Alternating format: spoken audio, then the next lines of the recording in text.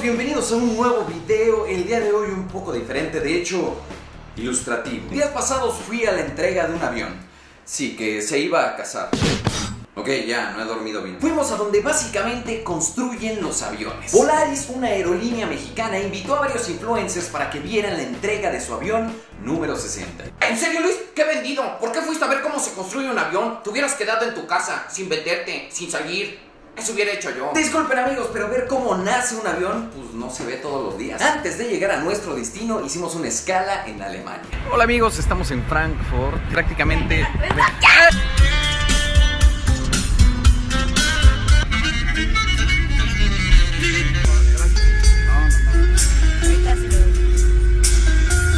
Estamos en el centro de Frankfurt y podemos ver luego luego a los mexicanos, ¿no? Los distinguimos luego luego haciéndose el rostro.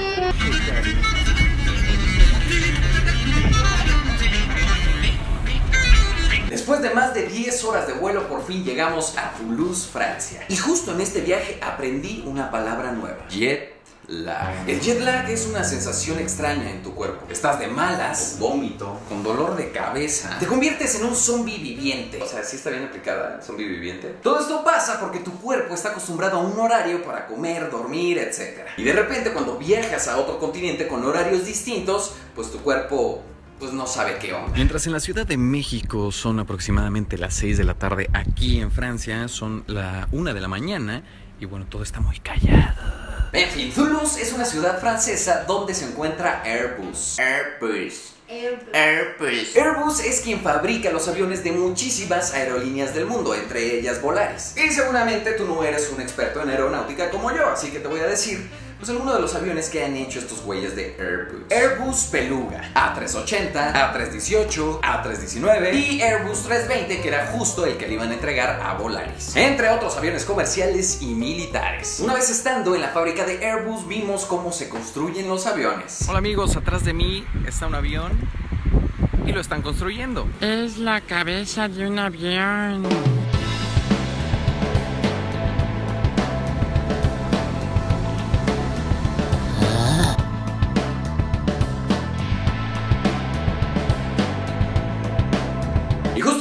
A dar algunos datos interesantes que nos dijeron ahí y que la verdad me sorprendieron mucho. Los nueve casos más escalofriantes y peludos de los aviones. Número 9. Los aviones son muy seguros, de hecho es más fácil que choques en tu carro por güey a que se estrelle un avión. Número 8. Si eres una aerolínea o un millonario y quieres un avión, te tardan hasta 5 años o más en entregarte tu avión. Número 7. Airbus construye aviones personalizados, es decir, Volaris los pide de un tipo, otras aerolíneas de otro, pero en sí es el mismo modelo. Lo que cambia son las características del avión, lo que va dentro. ¿no? Como una torta, es el mismo pan, pero ya cambia pues, lo de adentro, ¿no? El jamoncito, la lechuguita, pechuguita de pavo. Número 6. 6.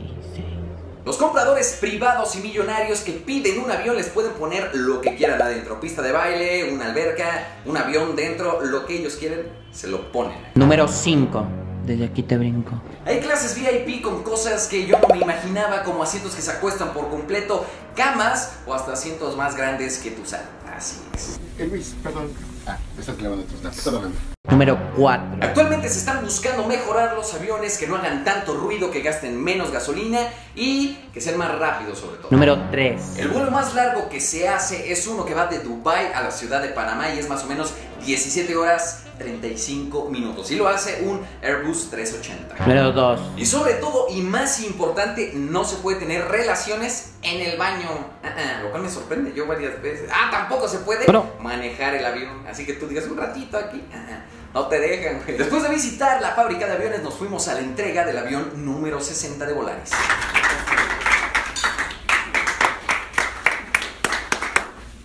Hola amigos, me encuentro lo más cerca que he estado de un avión en la entrega 60 de Volaris. Manches, se equivocaron. Pusieron al revés la bandera. Ah. Nos subimos al avión y fue padre porque realmente huele a nuevo el avión. Ya cuando entré al baño ya no olía tanto a nuevo, pero al inicio fue padre.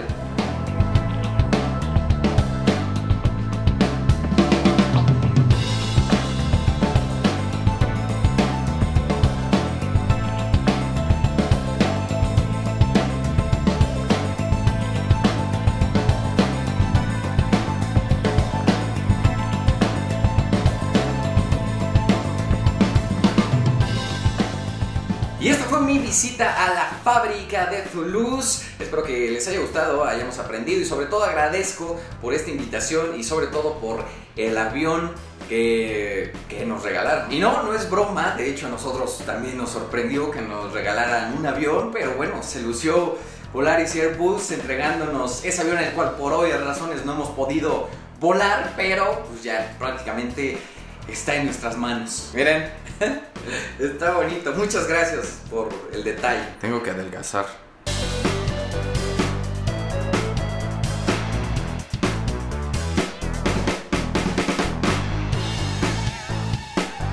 En exclusiva para el Yunque, el Giots y Luisito Comunica son pareja.